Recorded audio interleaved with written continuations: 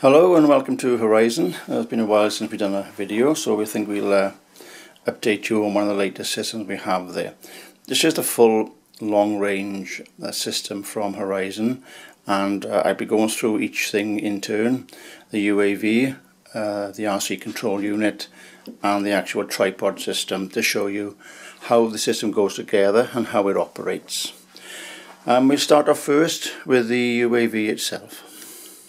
Okay, starting with the actual Phantom Vision Plus. Um, this has been modified by Horizon and this is the, what you get when it's fully modified.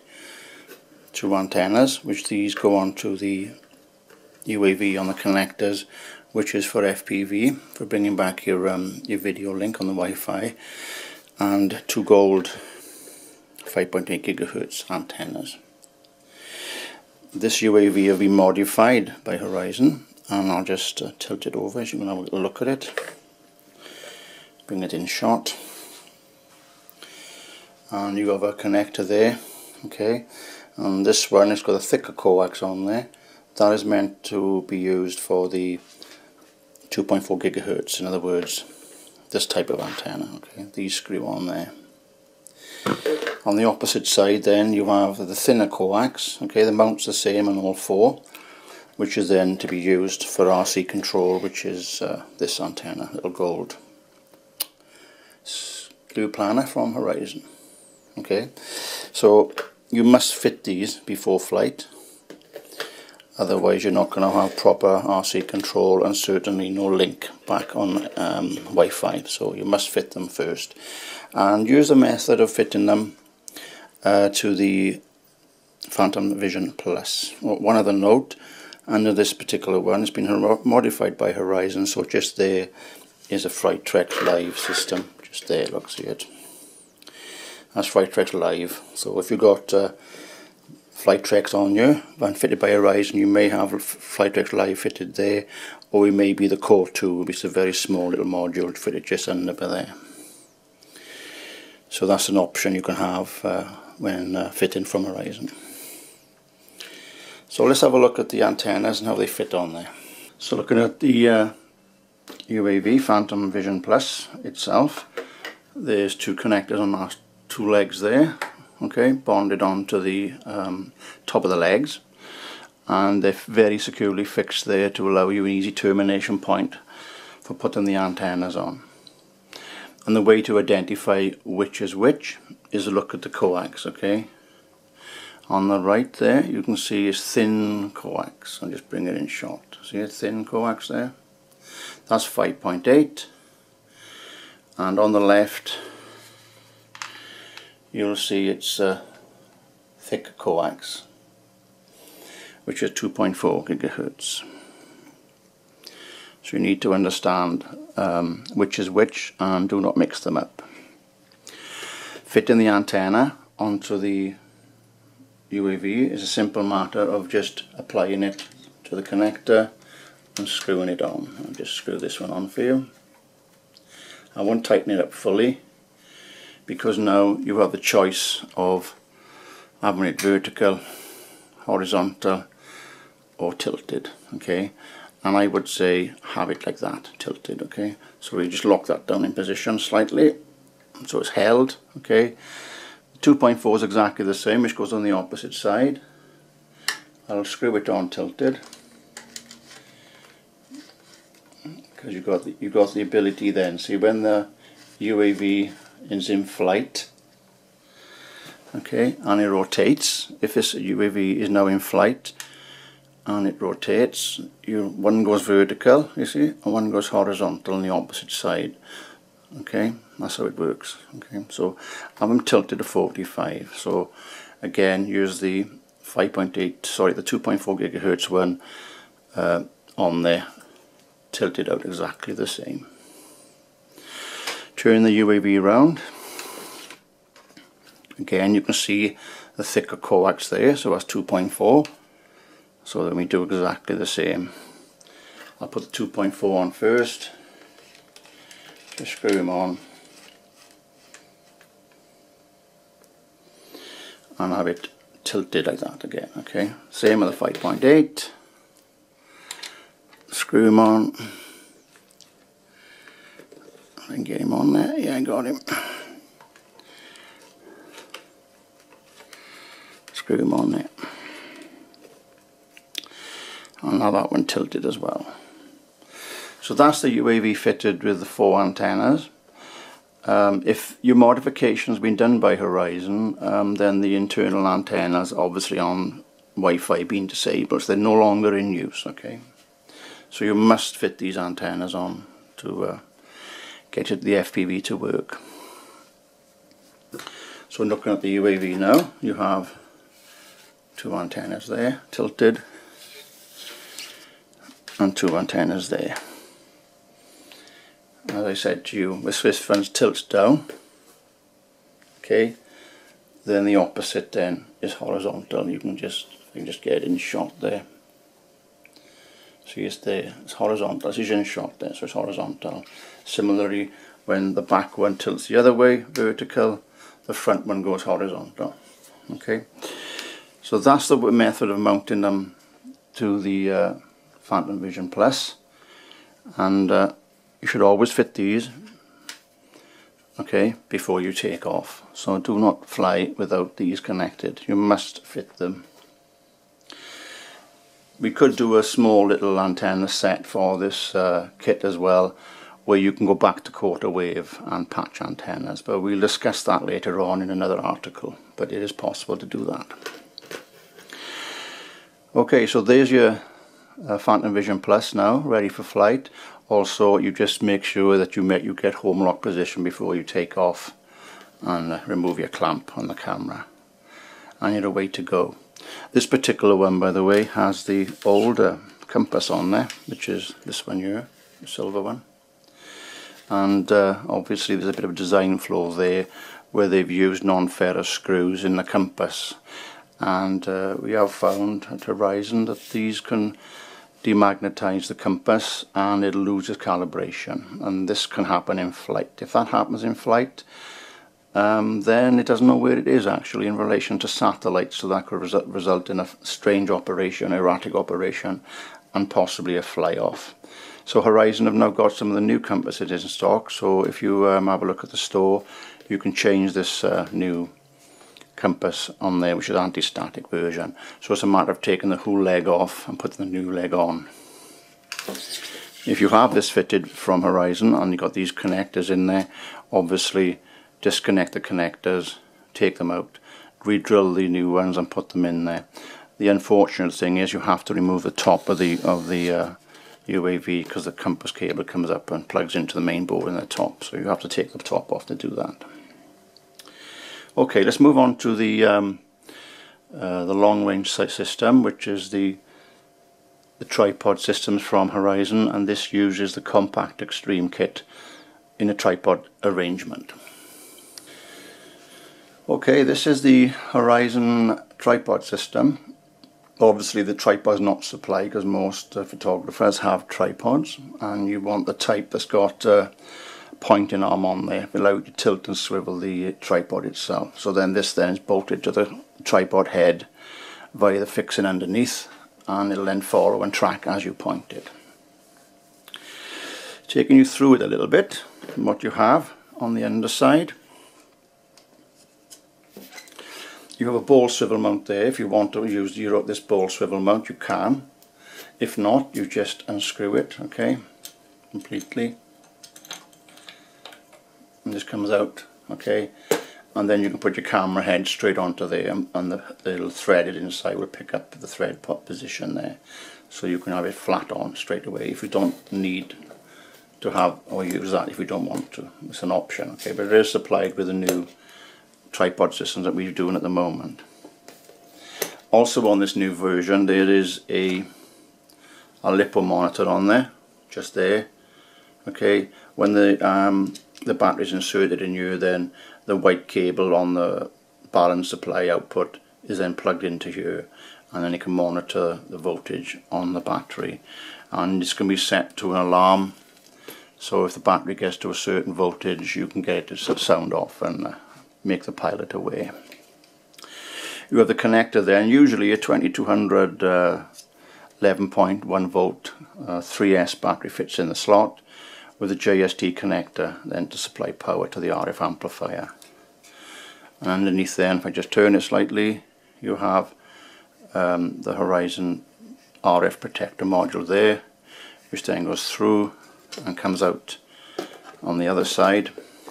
Just turn him over, and then that plugs into the RF amplifier, okay, to give it power. So let's uh, break it down and see how it comes apart and that'll give you an idea how it's then assembled. First thing we'll do is disconnect or pull off the extender. The extender is fitted on a plate and it's just velcroed on so you just pull it off okay disconnect the SP antenna which is normally mounted horizontal coming straight out like that okay that's where you want it to be mounted that's the one output the second output okay is going to the big antenna so we don't screw him and that's now disconnected. If this is modified by Horizon then we would do, do an indicator for you to show you which is the highest output and we indicate it by putting a black dot just on the connected output there because when we actually measure them with the RF power meter on a Rohde & Schwarz it, this shows which output is the highest. So connect your big antenna to the black dot version really and uh, obviously you can get the most efficiency from your extender. The um, antennas obviously are slotted in there so I'll just disconnect the two antennas disconnect the 5.8 gigahertz from the RF amplifier. This cable is custom made it goes straight down through onto the amplifier output okay? So I'll just disconnect it there disconnect the 2.4 gigahertz as well so now we have a patch lead it's a double 90 degree if you look at it 290 degrees on there okay that's 2.4 and the 5.8 is a 90 degree and one straight connector which is down into the amplifier. Once you disconnect that then you can just lift out the array itself and it'll just come out. Okay. There's a velcro pad just there which gives it a tightening effect when it goes into the slot and then the antenna can then be broken down for transport just remove that wing nut there, take that antenna off 5.8, remove those two nuts there and takes off the 2.4 so it then breaks down into a flat pack so you could flat, flat box it down. That's okay, that's that disassembled. and now we look at the RF amp. There's no really need to take the RF amp off um, the uh, the tripod kit because that's where it's used so leave it on there. Um, if you're not going to use it then that's how it's basically broke down to. On the side there you've got the Extreme Pilot badge, which this is, and on the other side you've got the Tripod Array uh, label. There's a, a, connection then which is heavy rated, comes to the input, okay, and goes to a termination plate. So on your RC transmitter there will be a one meter cable supplied with this kit which plugs in there, RPSMA, okay, and that goes back to your RC control. We will be modifying that slightly because actually we could take the cable straight into the amplifier there, okay, but what we'll probably do is disconnect this cable and take this out completely and bring the cable through the hole, loop it back on itself and then take it to the amplifier. So we don't have to have this configuration then and we have a strain relief then at this point here to stop you pulling at the connector direct on the amplifier. So that that'll be in the new version that comes out shortly. Um, the RC control unit then is just plugged into the top of the output and uh, you can use the RC control unit then um, just in your hand very light to use so there's your tripod system broken down and uh, we'll have a look at the RCN at the moment. So we put that to one side a second. We talked about this extender and it was modified by Horizon and uh, the balanced outputs was indicated on the highest one with a black dot. Okay, when we do the modification there's an option for you to have a panel upgrade with these. Because if you want to use this um, extender as it was back on the factory obviously you can't because it's been terminated into these connectors okay? So if you wanted to do that you'd have to physically open it and rearrange the connectors okay? But what Horizon have done is provided another module for you as an option the two patch antennas they have removed okay brought out and then they're remounted into a module like this. Um, the two more two patch antennas are inside there okay? This is now a panel antenna. Two outputs matching the um, outputs on the extender and then all you do is velcro will be supplied on the back okay? And then all you do is this. Will just be velcroed straight on the front like that okay so there's a patch lead then that goes from there to there patch lead from there to there which is supplied with this antenna. So that's a new bit of kit from Horizon and it allows you to revert it back to patch antenna mode if you wanted to okay? Um, that then keeps everything compact on the pilot then. If you do want to put the array on there all the time you want to have a little fly around and uh, quickly assemble it. So it allows you to reuse your extender as you did before with our module fitted on the front. So let's have a look at the RC control unit. And here's one that was sent in by a customer. This has been modified by Horizon. Um, the antenna actually now is redundant. This antenna is now redundant. Okay, it's just there for cosmetics, just fill up the hole really, so it can't be used and there's an external connector fitted here okay? At the moment because you have to use the UAV um, using the, the gold SP antennas they are left hand circularly polarized okay? So this little Nimrod now is left hand circularly polarized as well. So this then matches up to it. So the minimum you'd have on this RC control will be that antenna there okay? If you're using it as an array then this unscrews from the mount and the connector, the one meter cable screws in there, 90 degree version will go straight in there, okay, and then that'll allow you to uh, drive the amplifier here directly from the RC control. So all you'll have in your hands is this unit and the extender then all is obviously fitted back onto your uh, tripod system. Okay, okay so precautions when you've got the RC control and you haven't got an antenna on there. Okay, is uh, do not switch it on there. Okay, with no antenna connected to the terminal at the top. Okay, so you should not do that. So make sure you've got some sort of antenna on there. Okay, so that's the extender fitted back normally onto the RC control kit and then what you do you get the module.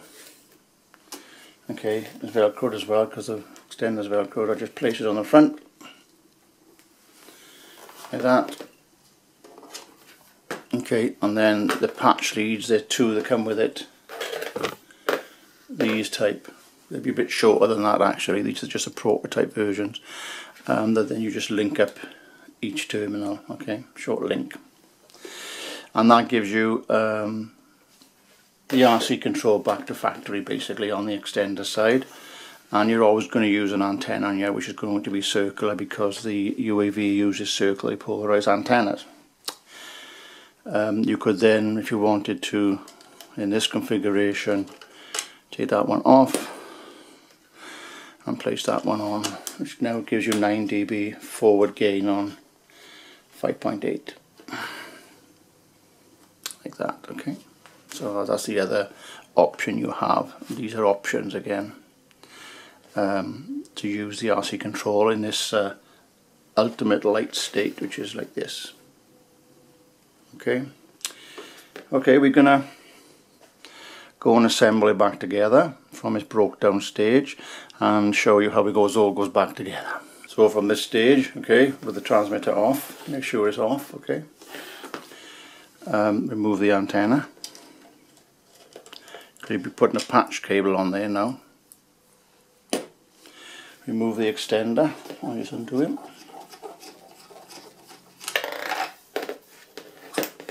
disconnect the patch links here and just remove it.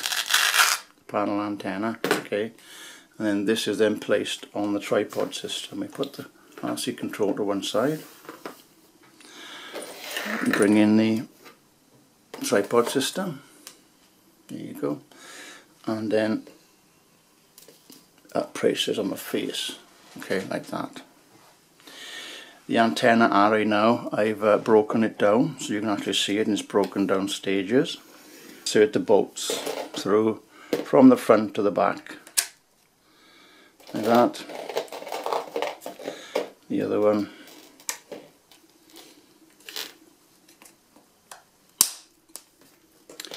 put a washer on there. One on each. Wing nuts.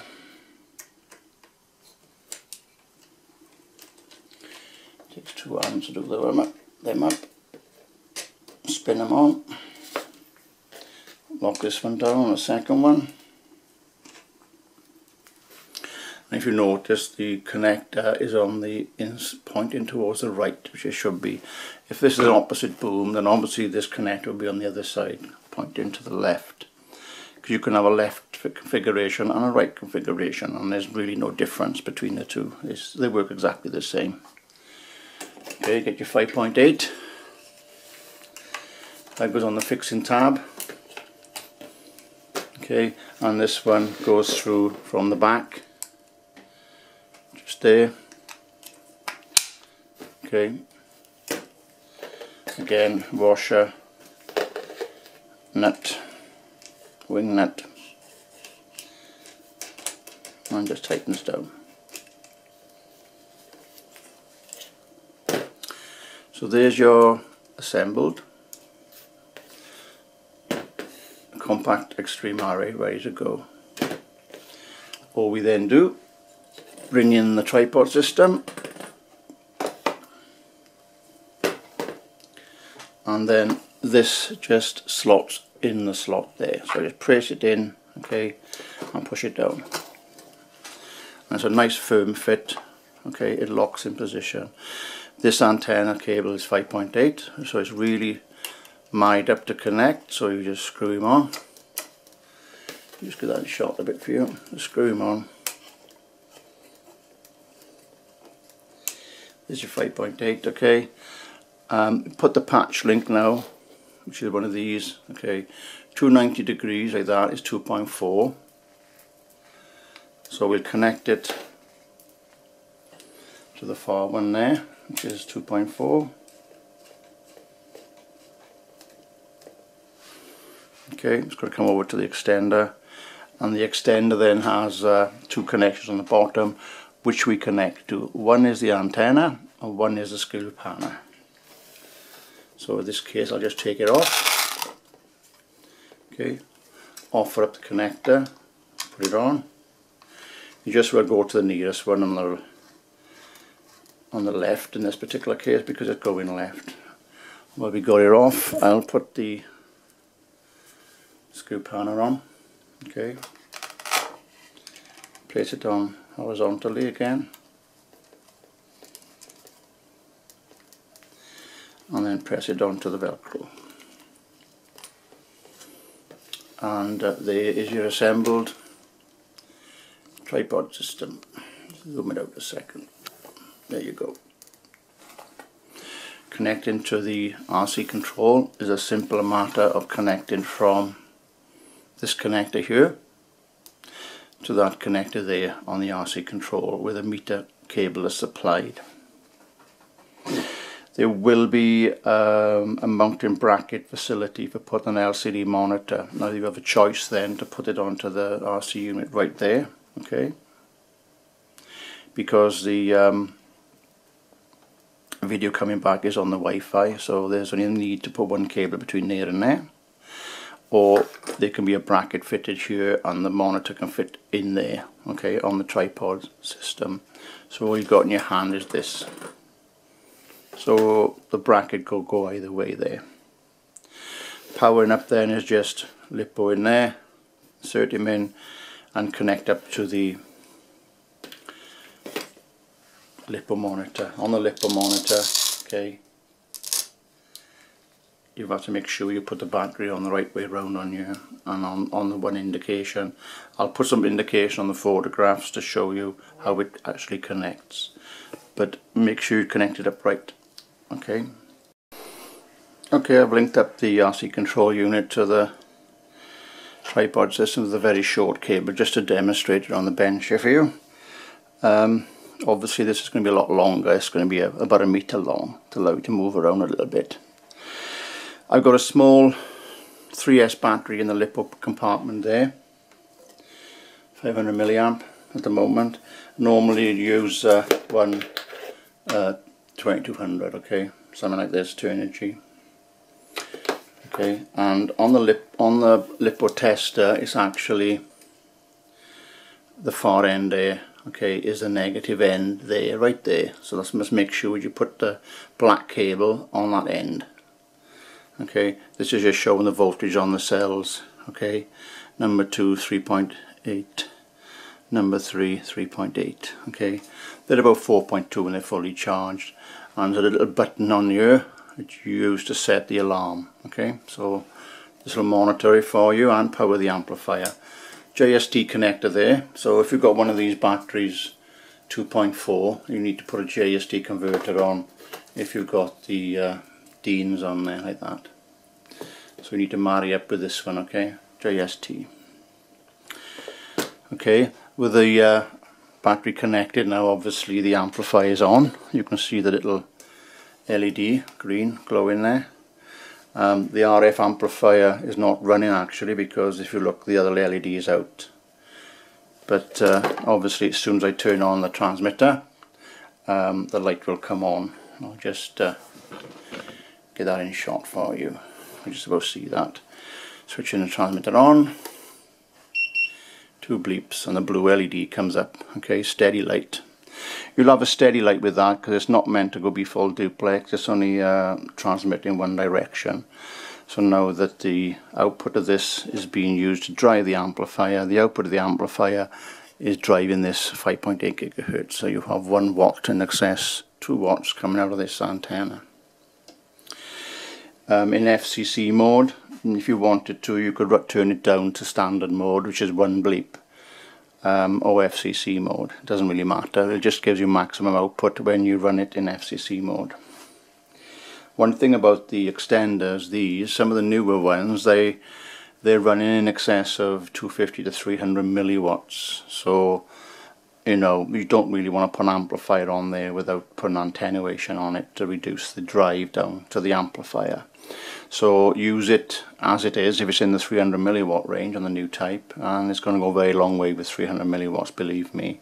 You'll probably find you won't have to put an RF amplifier on it at all because you have after all um, 12 dB antenna here okay and that obviously works transmit receive on uh, 2.4 because it's full duplex.